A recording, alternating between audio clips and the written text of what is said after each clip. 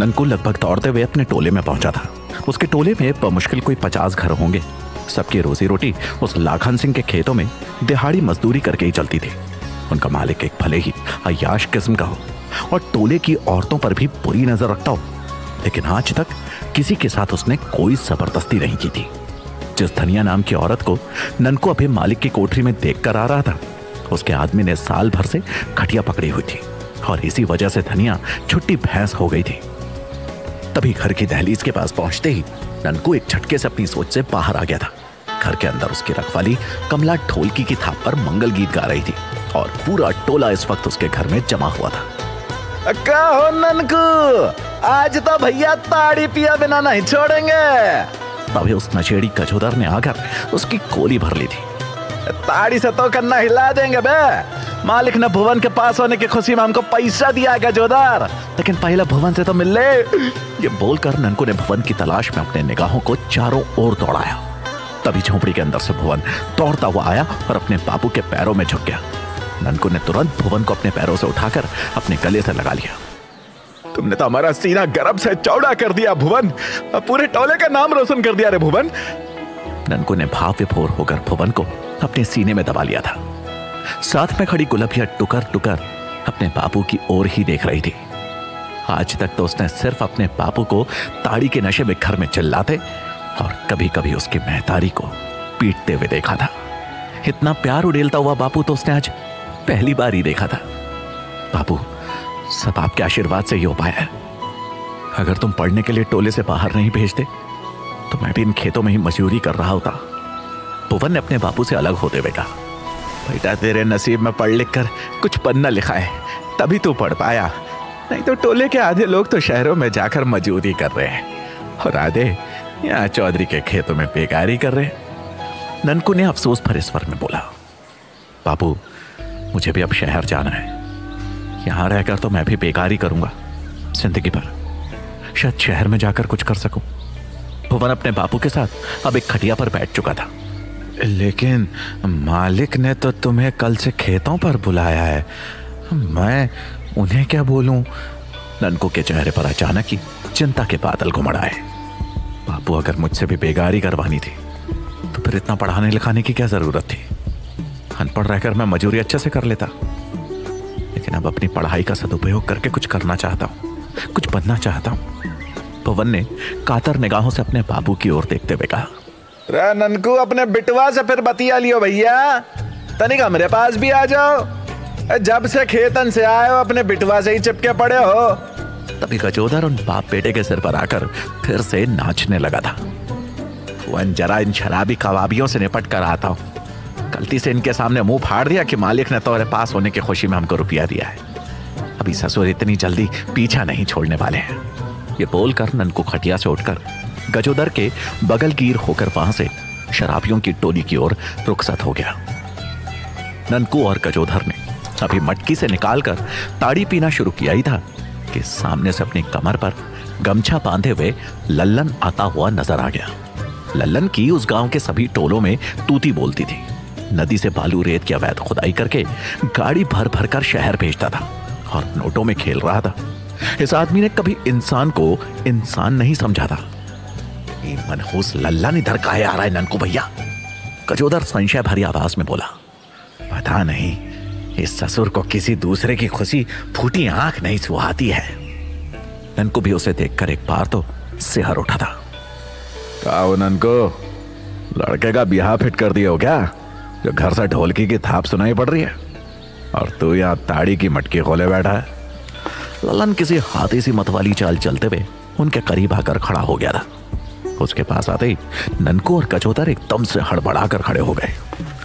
वो हमारा लड़का पूरे ज़िले में, कॉलेज में अव्वल आया है, बाबू। बस उसी की खुशी आपस में बांट रहे थे। ननको ने धीमी आवाज़ में बोला, इसमें इतनी खुशी मनाने की बात क्या है भैया? तेरा लड़का कौन सा ज़िले का कलेक्टर बन गया है, जो पूरे टोले को सर पे उठा रखा है? करने तो उसे भी चौधरी के खेतों में मजूरी है। लल्लन ने तंज मारते हुए कहा का मजूरी नहीं कराएँगे बाबू। उस शहर भेजेंगे। कुछ बन जाएगा शहर जाकर। ननकू ने सर झुकाए हुए ही जवाब दिया। शहर जाकर सवारी रिक्शा चलाने से अच्छा है। कि उसे या तो मेरे काम में रेत से भरी टोकरी ढोने के काम में लगा दे, या फिर चौधरी के खेतों में ही उसे फावड़ा चलाने को बोल। इतने ऊँचे सपने तुझे सपनों में भी नहीं देखने चाहिए। अनिक समझ आया कि नहीं? लल्लन बोलते हुए बिल्कुल ननको के सिर पे आ खड़ा हुआ था। अगर नसीब में होगा बाबू तो वो ये हमाली भी कर लेगा। उस बच्चे पर चौधरी साहब का भी आशीर्वाद है। ननकू की आवाज़ का तेवर इस बार कुछ बदल सा गया था। साले दो कौड़ी के आदमी लल्लन के आगे ऊँची आवाज़ में और सर उठाकर बात करता है। तेरा ये झटियल सा लौंडा अफसर बनकर नाचेगा हमारे सर पर? लल्लन को पता नहीं क्यों अचानक से इतना गुस्सा आ गया। कि उसने ननकू की गिरेबान पकड़ने में भी कोई संकोच नहीं किया। बाबू छोड़ दो ननकू को। आज खुशी के मौके पर कुछ ज़्यादा बोल गया। आ, आगे से कभी तुम्हारी शान में कौनो गुस्ताखी नहीं होगी। तभी कचोदर उसके आगे अपने दोनों हाथ जोड़कर खड़ा हो गया था। समझा लो उसको ज़्यादा हवा में ना उड़े। काम की ज्योति कभी सर का ताज नहीं बना करती। सालो तुम्हारे बाप दादा मर गए हमारी चाकरी करते हुए और तुम चले हमारी बराबरी करने के लिए। सलकू ने अभी तक ननकू की गिरेबान को छोड़ा नहीं था। सपने देखने का हक तो हम गरीबों को भी है, बाबू। ननकू में पता नहीं कहाँ से इतनी हिम्मत आ रही थी कि वो आज लल्लन सिंह से ज़ुबान तराजी कर बैठा। लेकिन अभी ननकू की बात पूरी हुई ही थी कि लल्लन ने एक झटके के साथ उसे पीछे की ओर धक्का दिया तो ज़मीन में बिछी मिट्टी पर जाकर ननकू का सर टकराया। लल्लन ने चलती हुई निगाहों से उसे घूरा और अभी अपनी ठोकरों में उसे लेने ही वाला था कि गजोधर एक एक लल्लन के पाँव में गिर पड़ा। बाबू माफ़ कर दो दोबारा ऐसी गलती नहीं होगी। गुस्सा मत करिए बाबू। गजोधर लल्लन के पाँव से लिपट ही गया था। समझा ले अपने इस पिल्ले को। दोबारा कभी हमसे ज़ुबान लड़ाने की हिम्मत ना करे वरना पूरे टोले में आग लगा दूँगा। ये बोलकर लल्लन ने अपने पाँव को एक झटका दिया जिससे गजोधर एक झटके से पीछे की ओर गिरा। लल्लन ने एक बार फिर से जलती हुई निगाहों से ननकू को घूरा और लंबी लंबी टक भरता हुआ अपनी दम्भ भरी चाल को चलता हुआ उनकी निगाहों से कुछ ही पलों में दूर हो गया। लल्लन सिंह के जाते कचोधर दौड़कर ननकू के पास पहुँचा और उसे ज़मीन से उठाने लगा। लोगन को कभी हमारी खुशी बर्दाश्त नहीं होगी, ननकू। इसलिए नन के अगाड़ी आना चाहिए, नन के पिछाड़ी। कचोधर ने ननकू को उठाते हुए कहा, ननकू के चेहरे पर इस वक्त जिल्लत और अपमान के निशान दूर से ही देखे जा सकते थे। ये बात का टोले में किसी को पता नहीं चलना चाहिए। खासकर भुवन को तो बिल्कुल भी नहीं पता चलना चाहिए। अगर उसने अपने मन में कौनो कांट बाँध ली तो फिर ज़िंदगी में कुछ कर नहीं पाएगा कचोधर ननकू ने इतनी जिल्लत के बाद भी अभी अपने होश नहीं खोए थे। मैं समझता हूँ ननकू भैया, ये जिल्लत और बेइज्जती और हमारे सपनों का कुचलना तो हम लोग सदियों से सहते आए हैं। आज कुछ नया तो हुआ नहीं। या कोई पहली बार थोड़ी ना हुआ है। कचोधर ने उदास और खिन्न स्वर में कहा, सही कह रहे हो कचोधर। हम लोग ही ये सब नसीब में लिखा कर क्यों लाए हैं? ये बोलकर ननकू ने ताड़ी की मटकी को उठाकर ही अपने मुँह से लगा लिया था। कचोधर इस वक्त बस उसे टुकुर टुकुर देख रहा था। भुवन, फिर आगे का करने की सोचो तुम तो पूरे ज़िले में अव्वल आए हो। तुम तो कुछ भी कर सकते हो। उसके बापू के खटिया से उठते ही उस टोले के सबसे समझदार काका उसके पास आकर बैठ चुके थे। काका का पूरा नाम श्याम प्रजापति था। बारहवीं जमात तक पढ़ने के बाद दिल्ली चले गए थे। वो भी घर पर बिना बताए। इकलौते बेटे के इस तरह से गायब होने से काका की महतारी ने असमय खटिया पकड़ ली थी।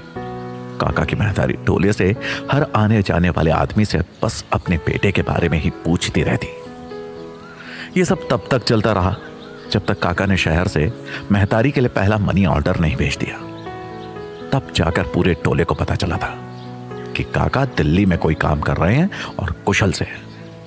लेकिन बाद में पता चला कि काका शहर जाकर बस रिक्शा चलाकर ही अपना पेट पालते थे। उसी से अपना पेट काट कर जो बचा पाते थे, उसे महतारी के नाम मनी ऑर्डर कर देते थे। यही सोच रहे हैं काका कि अब आगे क्या करें। बापू से इसी बारे में बात कर रहे थे।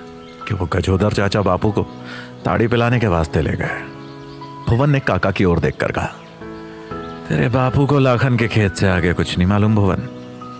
ये तुझे ही सोचना है कि तुझे आगे क्या करना है। तू तो पूरे ज़िले में अव्वल आया है। तेरी तो सरकार भी कोई ना कोई मदद ज़रूर कर देगी। तो किसी सरकारी नौकरी की तैयारी क्यों नहीं करता? काका ने भुवन को बोला गरीबन की कौन सरकार मदद करे काका? ज़िले में प्रथम आए हैं।